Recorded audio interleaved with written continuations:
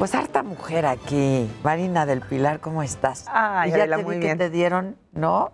Este. Sí, la un gran publicación. recuerdo. Sí, sí, sí. A ver, Les digo, le atinaron.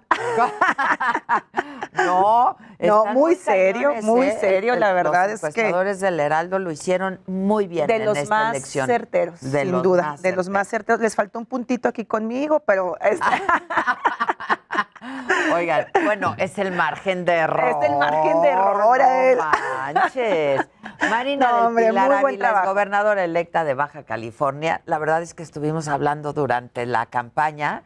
Este, Marina, ganaste con un margen pues muy amplio, ¿no? 18 puntos. Adela. 18 puntos. Así es, así es. No todas las encuestas te traían así. No, no, no, sin duda la del Heraldo fue de las más eh, certeras ya al, al final de la elección. Hubo otras que, pues, eh, más, más cerradas. Sin embargo, nosotros, la verdad, Adela, nunca nos, pues, guiamos nuestra estrategia en base a encuestas.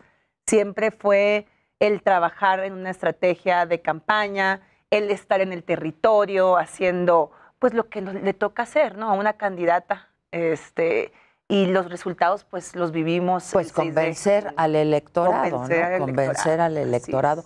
Pero además, pues les tocó una, un momento difícil este, por la pandemia. Fueron campañas atípicas, ¿no? Es así, Atípicas. no como las lluvias de cada año. Así es. Las lluvias atípicas de cada año. ¿no? Así es, así es. Fue una campaña distinta, ¿no? El tema del COVID. Esperábamos incluso menos participación ciudadana. Baja California siempre ha sido un estado que se ha considerado, pues, de mucho abstencionismo. La gente no sale a votar. Por ejemplo, en el 2019 tuvimos el 29% de No es participación. nada. No es nada de la. Este año, eh, afortunadamente, logramos crecer un 10%, llegamos casi al 40% de participación, lo cual, siendo año COVID, pues evidentemente es algo muy bueno que estamos celebrando en Baja California porque es histórica la, pa- la participación. Sin embargo, sigue siendo muy baja. Hay mucho por hacer todavía en términos de participación ciudadana, pero eh, consideramos que la ciudadanía salió a votar. Veíamos algunas casillas donde la gente estuvo haciendo fila hasta dos horas para poder emitir su voto. Y en ese sentido, pues fue una elección legítima, fue una elección donde pues la diferencia fue amplia Muy amplio. y con eh, pues una participación importante de la ciudadanía. ¿Qué, qué, qué- qué lectura le das? A ver, tú eres del mismo partido, gana el partido que ahora está Carro completo. go- gobernando y carro completo que está gobernando ahora Baja California. ¿Qué lectura das a todo esto? Porque para ti fue una campaña complicada en muchos sentidos, ¿no? Sí, sí fue una campaña compleja. Sí, sin duda, por supuesto, todas las campañas tienen su eh, complejidad, ¿no? Pero tuvimos un excelente equipo. ¿Yo qué lectura le doy? A que los baja californianos continúan defendiendo la esperanza que inició en el 2018. Hay un gran cariño por el presidente de la República, Andrés Manuel López Obrador, que y es un por el líder gobernador. por el gobernador también, pues lo vivimos en la pasada elección, ¿no? Este, y por supuesto con los gobiernos de la Cuarta Transformación, refrendar estos gobiernos que se han hecho en Baja California, donde desde el 2018, 2019 y ahora en el 2021, pues hemos ganado absolutamente todo. Ahora la gobernatura, los 17 distritos locales, los 8 federales y los 5 ayuntamientos. Y pues eso sin duda nos compromete aún más con los baja californianos porque están eh, pues refrendando esta confianza en, el, eh, en Morena, en los, movimi- en, en los gobiernos de la Cuarta Transformación, en el Movimiento de Regeneración Nacional, y no tenemos derecho a fallarle a la gente. Ellos saben que es corto el tiempo, que ha sido poco el tiempo, y que hay mucho por hacer todavía, que hay mucho por hacer, y eso es lo que estaremos haciendo durante los próximos seis años. Yo no sé si viste a la senadora Claudia Ruiz Macié, que acaba de salir No, de aquí no, por el tuve la PRI. oportunidad de verla. senadora priista, eh, priista de toda la vida, ¿no? Este, y hablábamos de, de- de esto que ha venido pasando, que es una polarización y una división, que yo creo que a nadie conviene. No queremos un país dividido. Este, yo creo que ahora ya viene, pues ya tocan otros tiempos. La reconciliación, ¿no? Decía yo en, en Baja California, este momento de unidad en el Estado, que nosotros estamos promoviendo la participación de todos los sectores, desde el jornalero, la jornalera, el obrero, el campesino, el Claro, porque empresario. cada estado tiene sus particularidades. Por ¿no? supuesto. Y por lo tanto sus necesidades y sus urgencias. Así es. Este, ¿Cuáles son y qué te toca a ti ahora? Pues mira, son, muchos los temas, Adela, son muchos los temas, desde la seguridad, que siempre será el punto número uno en una agenda de gobierno, en la agenda pública. Los ciudadanos esperan tranquilidad, esperan paz, esperan seguridad en sus colonias, en sus casas, en sus vidas. El tema económico, salud, con el tema de la pandemia, creo que eh, vino a darnos un jalón de orejas la pandemia a todos. Pues justo eso comentábamos, ¿no? Ya había escasez de medicamentos, ya había escasez de insumo, o sea... Y lo que se tiene que hacer y lo que se ha dejado de hacer y lo que debemos de trabajar, ¿no? Para solucionar las problemáticas que existen en, términos de infraestructura hospitalaria y, entre otros temas, ¿no? En Baja California tenemos el tema de la pesca también, el dinamismo, la movilidad fronteriza existe. Somos un estado con un fenómeno migratorio muy importante y que tenemos que incluir en la actividad económica, en la actividad social a todos estos migrantes que llegan a nuestro estado. Baja California es un estado que ha crecido gracias a, a los migrantes y en ese sentido, bueno, son varias las, las situaciones, las problemáticas que estaremos atendiendo en coordinación con el gobierno federal, con nuestro presidente Andrés Manuel López Obrador, porque nosotros no venimos aquí a disputarnos el poder, venimos a coordinarnos, venimos a trabajar. Baja California merece un gobierno que, que esté a la altura de las expectativas de los ciudadanos. Oye, tú en campaña hablaste, Marina del Pilar, estamos conversando con Marina del Pilar, para quien no se escucha solamente en la radio en este momento ella es la gobernadora electa eh, de Baja California. Y tú en campaña hablaste, Marina, del fortalecimiento institucional. ¿Cuáles requieren fortalecerse? ¿Cuáles, qué, se requiere crear? Este, ¿Hay alguna que necesita de plano rehacerse? Bueno, mira, nosotros estamos hablando de varios temas, ¿no? En el caso de Baja California, eh, vamos a crear nuevamente la Secretaría de Turismo, la Secretaría de Pesca, la Secretaría de Medio Ambiente, la de Economía, darle este fortalecimiento que requiere, dadas las circunstancias que hemos vivido con el COVID-19. Y estas actividades son actividades económicas vocacionales que tiene nuestro Estado, ¿no? tanto la pesca como el turismo. Y queremos darle este impulso, las economías naranjas. Estoy muy comprometida con este tema, que son aquellas economías que ponen en el centro los talentos, las capacidades de las personas. Tenemos pues mucho talento, muchas industrias creativas en nuestro estado que necesitamos fortalecer a las instituciones que de ellas dependen. Vamos a crear también un escuadrón violeta en el tema de las mujeres, ¿no? En el tema de las mujeres como primera Yo sé que quizás esta es una pregunta que no deba hacérsele a las mujeres. ¿Qué edad tienes? 35 años. Súper joven. Digo, por eso te Soy una mujer joven. Muy joven. este, creo que, bueno, también eso se lleva en el interior, ¿no? Este, Pregúntamelo a mí. Pues, eso yo ya solo lo tengo en el interior, pero sí. la verdad, una mujer 35 años, así es, de, de 1985. Perdón, te interrumpí, pero hablabas de, de esto, la, la, cultura violeta, pero la cultura verde, ¿no? También, este también un tema muy importante en nuestra agenda, la agenda eh, verde, el medio ambiente, eh, va a ser muy importante para nosotros. Y pues trabajar en coordinación todos los, eh, eh, los niveles de órdenes de gobierno, tanto el municipal, yo ya fui presidenta municipal de Mexicali, sé lo que representa el apoyo tanto del gobierno del estado como del gobierno federal a los ayuntamientos. Al final del día el municipio sigue siendo el ordenamiento eh, político de mayor cercanía con los ciudadanos, con la gente, y, vamos a trabajar con mucha coordinación con las y los alcaldes en Baja California y por supuesto con el gobierno de México, con el gobierno federal, en donde podamos pues encontrar siempre este este camino, ¿no? Para brindarle bienestar a las familias de nuestro estado. Ahora con la vacunación, ¿no? Este, ¿cómo, ahora que entras tú, ya próximamente planeas llevar a cabo todo esto, ¿no? La vacunación, eh, la salud, la reactivación económica que se vio afectada en todos lados. Va muy bien Baja California en el tema de la vacunación, Adela. Mi reconocimiento al gobierno del Estado, al gobernador Jaime Bonilla, al gobierno federal, licenciado Andrés Manuel López Obrador, pues acaba de mandar más vacunas a Baja California.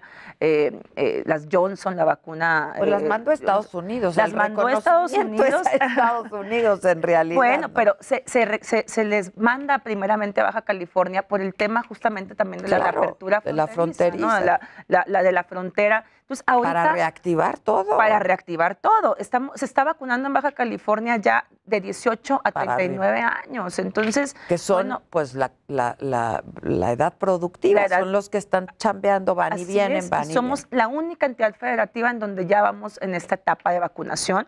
Eso es algo muy bueno. Vi- tenemos una, un dinamismo con California, con Arizona, que ellos, pues tú sabes, ya van muy avanzados también en esta etapa. Pues ya nada más muy acelerada la faltan de reactivación. vacunarse los que no quieren vacunarse. Los que no quieren. Los que no quieren. Así es, los que, no quieren. lamentablemente es grande. Todavía el- hay el- mucha gente que, que le tiene, este, pues que dice, no, yo no me voy a vacunar.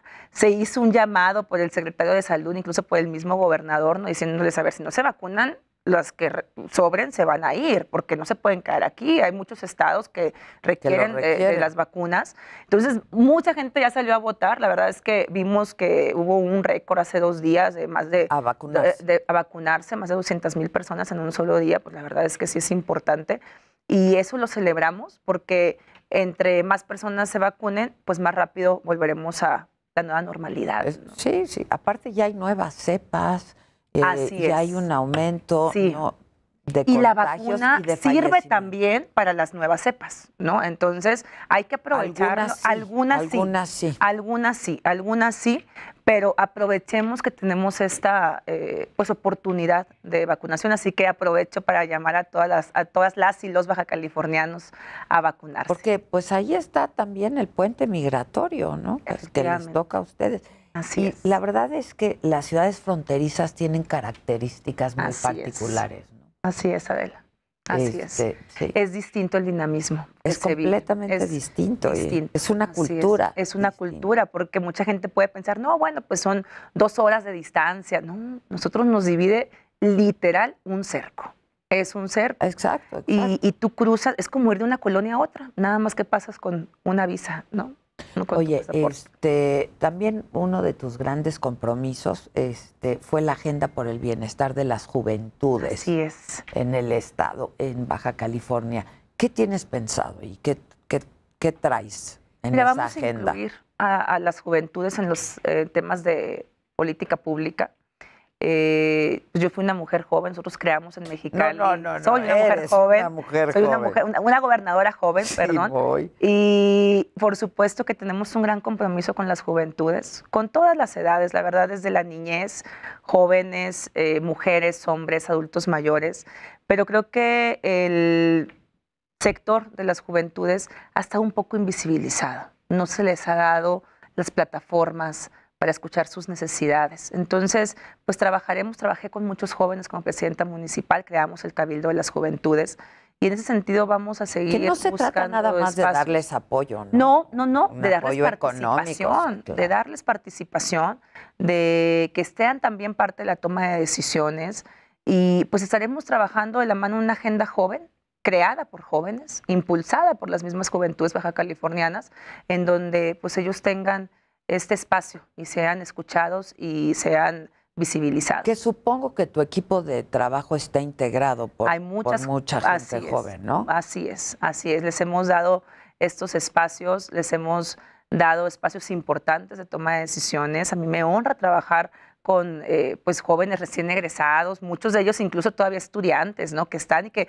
muy comprometidos. Yo fui maestra universitaria, estuve en las aulas de la Facultad de Ciencias Sociales y Políticas de la UABC, dando clases también en universidades privadas y fueron justamente mis alumnas y alumnos quienes me motivaron a participar por primera vez en política. Yo ya lo hacía Justo te desde la academia, ¿no? ¿Cómo fue tu formación política? ¿Cómo, cómo empezaste? Siempre desde muy niña fui muy inquieta, desde muy jovencita andaba yo ya muy inquieta, siempre ayudando pues a instituciones eh, de, de- de- de niños en una situación Pero de vulnerabilidad, pero lo hacía desde la ¿no? trinchera ciudadana, Sí, desde la trinchera ¿Por ciudadana. qué no te quedaste ahí? ¿Qué te llamó la siempre atención? motivada.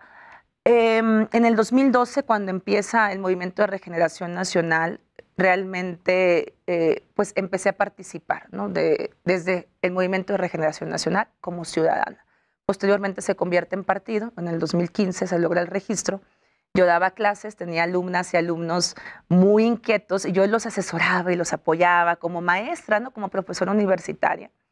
Y son ellos los que un día me dicen, ya, maestra, profe, véngase de candidata de, de Morena, ¿no? Y en el 2015 yo apoyaba desde la parte académica. Y ya en el 2016 fui candidata por primera vez eh, en Morena por una diputación local. A los 30 años. A los 30 años, así es, este, 28, 29 años. Y pues bueno, pues muy contenta, la verdad es que obtuvimos excelentes resultados, aumentamos la participación, era la primera vez que Morena participaba en Baja California, vamos por el registro y logramos un porcentaje importante en Mexicali, en un distrito muy complicado, el tercer distrito local. Yo siempre he dicho, pues a lo mejor perdí en las urnas, pero gané en la calle. Eso nos permitió seguir trabajando en la estructura del partido durante lo que fue el 2016, luego empecé a trabajar en el Congreso del Estado, en el grupo parlamentario de Morena, con este, dos diputados que obtuvimos en aquel 2016, apoyándolos desde, eh, como secretaria técnica y asesora y eh, construyendo el partido, la estructura en Mexicali. Y en el 2018 fui candidata a diputada federal, gané eh, la Diputación Federal, gracias a pues que venía licenciado Andrés Manuel López pues Obrador en la arrasó, arrasó, arrasó, y con él nos fuimos todos, y con él nos fuimos todos. Para mí lo más importante es que él fuera presidente, eso era lo realmente importante. Yo estaba enfocada en las actas eh, presidenciales, así es, y luego cuando vi también las, las locales, dije, ah, caray, este también nos tocó, ¿no? Y llegamos a hacer un trabajo importante al Congreso de la Unión, a la Cámara de Diputados, en donde logramos gestionar eh, unos puentes para la Garita Centro en Mexicali, justamente hablando del tema fronterizo, unos puentes que se requerían para el cruce fronterizo, que habían estado ya proyectados y que de repente la administración federal anterior los, los quitó del proyecto y a nosotros nos tocó hacer el proyecto ejecutivo en la SCT, este, la Secretaría de Hacienda y logramos un recurso inicial de 150 millones de pesos para la primera parte de los puentes y ya después se le da la continuidad eh, correspondiente para lograr eh, los otros 150 millones de pesos, siendo uno de los pocos proyectos que en el 2019 se autorizaban en el presupuesto para una obra de alto impacto, de las últimas de alto impacto que ha tenido Mexicali, eso como diputada federal. Y de manera muy natural se da la invitación por parte tanto del partido como también de organismos de la sociedad civil, de la propia militancia de Morena en Mexicali para participar y contender por la presidencia municipal. Y, pues logramos convertirnos en la primera presidenta municipal de la capital este, del estado. Yo la verdad he celebrado muchísimo que hubo tantas mujeres, ¿no? Sí. Ganadoras. Hay que hacer un programa con todas. Realmente, sin importar el color, los nombres. Vamos a hacer un programa violeta. ¿Te ah, parece? Estaría increíble. Supongo que eh, acabaste muy cansada de, después de todo esto. Claro que no, Adela, con mucha energía. Nos quedan seis años todavía de mucho trabajo. Ah, no, claro, pero te tomarás unos días de descanso antes de entrar. Seguramente vamos a aprovechar que ya de descanso lo veo difícil. Esposo, que ya nos reclaman un poco de tiempo. Ocho años. Ocho años. Ocho años. Sí, nos vamos a tomar ahí unos dos días. Eh. bueno, este, este, pues con la familia para estar con ellos y, la familia siempre yo creo que será lo más importante. Siempre Y, trabajar por el bienestar de las familias de Baja California es algo que me llena de orgullo, es un honor para mí representar a las y los baja californianos y agradecerles siempre la confianza que han depositado en mi persona. Obtuvimos la votación más alta en la historia de Baja, California, para un gobernador. Pues yo también lo, celebro y vamos a estar muy atentos, muy pendientes y esperamos verte pronto. Y te espero en Baja California. Vamos a transmitir desde allá. Vamos a transmitir desde allá. ¿Pudiera ser tú la anfitriona de todas estas mujeres que resultaron? Me encantaría recibirlas en alguno de los escenarios preciosos que tenemos en nuestro estado. Nos pondremos de acuerdo. Claro que sí. Gracias, Marina. Muchas gracias. Muchas a gracias a ti. Este, y pues nada, que tengas buena suerte. Gracias. Me despido. Las órdenes, ya sabes, las ya dos. Estamos, sí. este, Hasta luego. Muchas gracias. Gracias. Muchas gracias. Nosotros